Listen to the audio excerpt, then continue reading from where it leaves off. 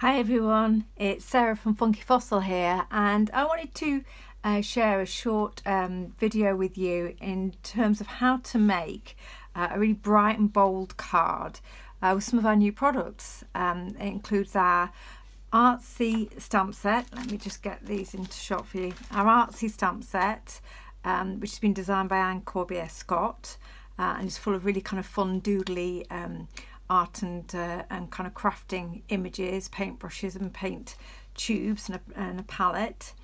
Um, alongside some stenciling, which um, I do on most of my projects. And I'm going to use two stencils today. I'm going to use our Make Art stencil, which hopefully you can see there. It's got lots of um, lots of words um, cut into the uh, design, so you've got a great background there and also we'll use another word stencil as our um, focal point which is our arty words. And these are similar words but uh, in a real kind of bold um, size and style. They're great for uh, art journaling and mixed media projects as well as card making.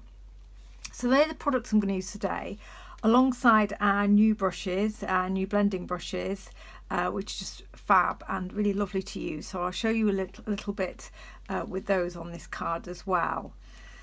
And this card um, could just as easily be a journal page um, if you're wanting to um, put something into your art journal. I've made it a large card front here, um, but uh, I'm sure you'll see the potential for using these in your journals as well, uh, particularly with the kind of themes and images we've got. So we've got lots to get through and uh, let me make a, a, start. Lovely bright colours today, nice fresh zingy colours. Um, so we're going to use um, uh, Distress Oxides to create a blended background. This is on the card base itself. And we'll use some picked raspberry to start with. I'm going to go straight in with, uh, with the brush. Uh, I'm using one of the smaller brushes. They come in four different sizes. Um, when creating backgrounds, it doesn't really matter what size of uh, brush you use. Of course, the larger the brush head, then the, um, the, the, the more coverage you'll get more quickly. And the, the really lovely thing about these blending brushes um, is the kind of the ease with which you get a really nice soft blend on your card. In fact, let me show you here. This is um, going to be the centre of the card, which is going to be covered up, but I can go straight into the centre of my card and not worry uh, about getting kind of uh, straight lines or um, kind of um, harsh edges with the blend because the brush is just so soft and gives you that really lovely airbrushed effect very quickly and easily. Now I'm not going to cover this whole card base because as you saw uh, originally um, the middle is going to be covered up so I don't need to worry too much about covering every every bit uh, of this card front and the brushes let me just get that colour in really quickly and easily and a nice smooth application of colour. You can get it as, as um, strong and deep as you want depending on uh, the look that you're going for. So I'm adding just some bits of the picked raspberry very randomly around the edges of the card. Before we go in, and we'll add some peacock feathers.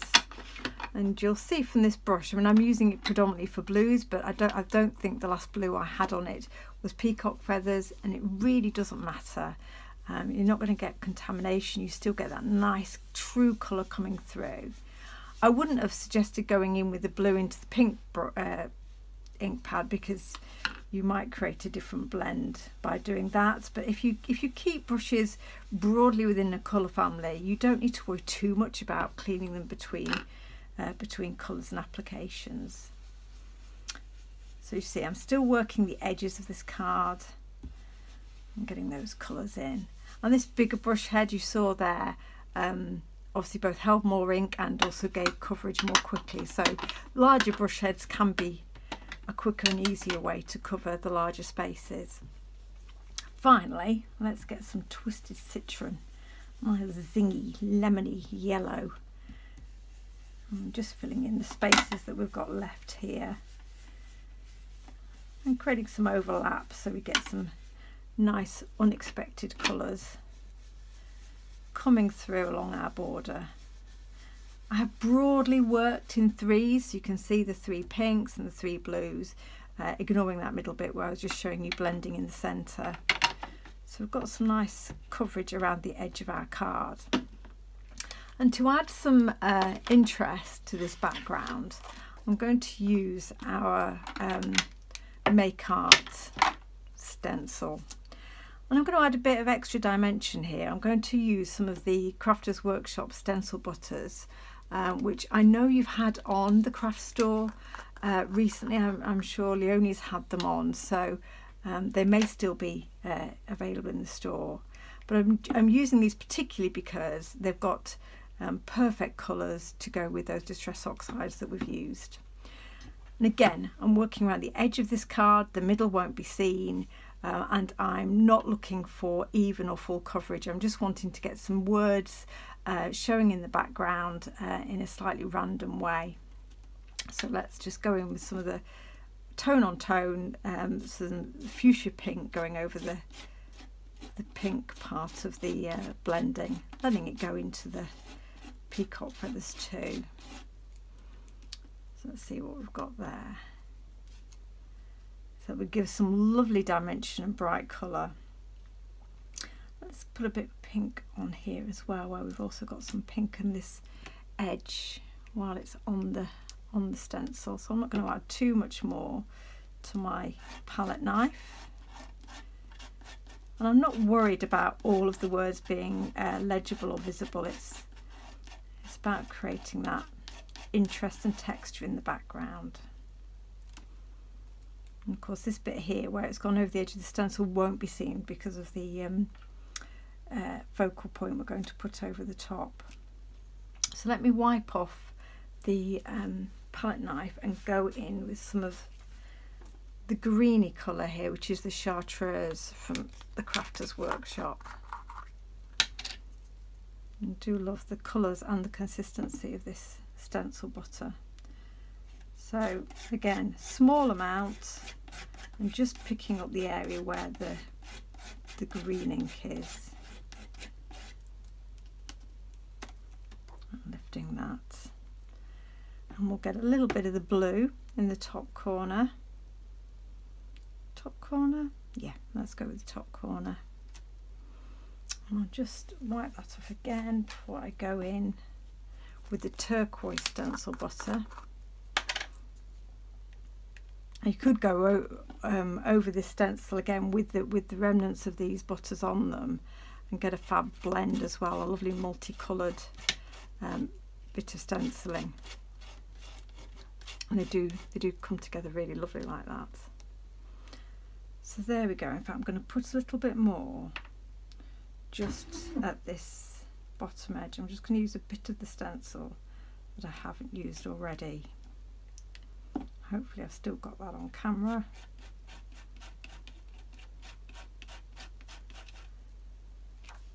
Great. So we've got most of the um, edge covered there, but not all of it, and that's that's absolutely fine. It's just about adding more colour and depth to the background. Let me just tidy this up and we'll move this to one side while the stencil butter is drying and then we'll come back and do the focal point.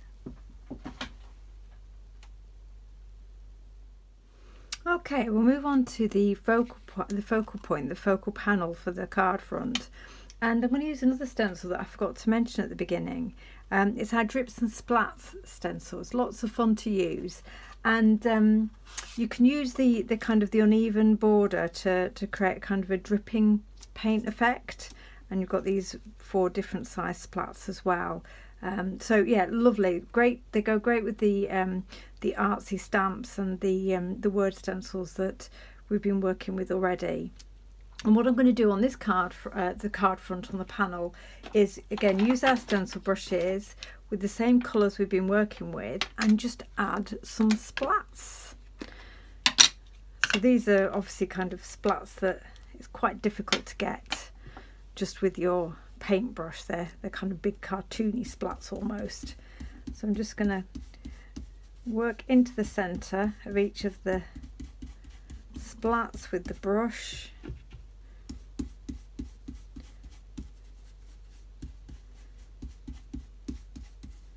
There we go. So there's splat number one. So the different sizes and we'll go with those that same kind of green, blue and pink that we were using on the um, card base. So it all ties together. When you when you're making kind of bright, colourful um, creations, um, it is best to kind of work with the same three or four colours throughout. Otherwise, it can get a bit much for your eye to be able to to follow.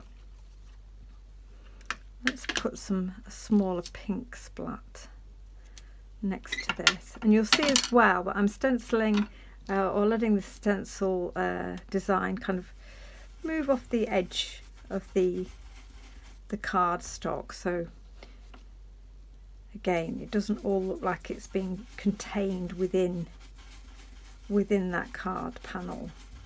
It just gives it a slightly more natural and random look. So I picked raspberry. Now before I um, go in with a different colour I'm just going to wipe away this ink just with a bit of dry kitchen towel it just stops the um, that different colour being pulled in and sometimes you get kind of quite muddy tones.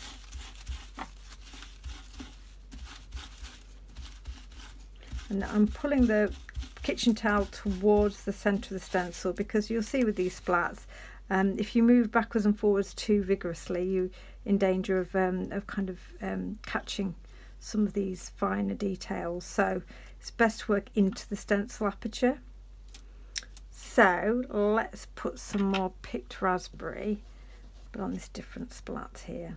See we've still got a bit of blue there. It doesn't need to be completely clean. You just want to take any ink that's sitting on the top there out. One of the things I really like about using stencil brushes is they are much more forgiving. So when you are working with a stencil like this, which has those um, kind of slightly loose details around the edge of the splat, it is less likely to um, catch them and pick up um, kind of bend the bend the stencil because the bristles are so fine and soft. Um, it is really very forgiving in that respect. so it's another reason why I like working with them, with my stencils. Let's have a blue splat in the bottom here. And then we'll just add one more. I think you'll move the card slightly there. Or add to the splatty effect, won't it? Trying to stay in, obviously, so I don't get any of the uh, straight stencil lines. Oh, I'm missing, I need another green. I feel it's lacking a green. Let's put a little one here.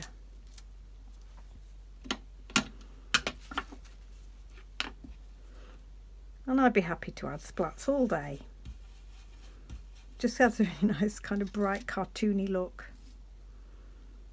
Okay, so that's enough splatting on the front of our cards. And what I'm going to do now is put the main um, focal point, the words, the, the, the um, big words from our arty word stencil over the top. Now you've got choices here, as always with everything. You could use black texture paste, you could use um, black ink. Um, I'm going to use some black acrylic paint and um, dab it through with a sponge because I like the um, the opacity that gives me. It gives me a really sharp, solid black. Let me show you what I mean. So on the um, the original card that I was using as my inspiration, I used uh, black ink, and it's, it's great, but it, it isn't as intense as I'd like. So let's see if we get a stronger effect with some black paint. And I'm using a cosmetic sponge here, just scrunching it up in um, my hand and then picking a little bit of the paint up and dabbing off. When you're going through a stencil with paint, you don't really don't want um, to have too much on your sponge so you don't get bleed through the um, the design. And some acrylic paints are more um, liquid, more fluid than others. This is a deco art one, I think, which is a nice, has a nice body to it for um, stenciling with.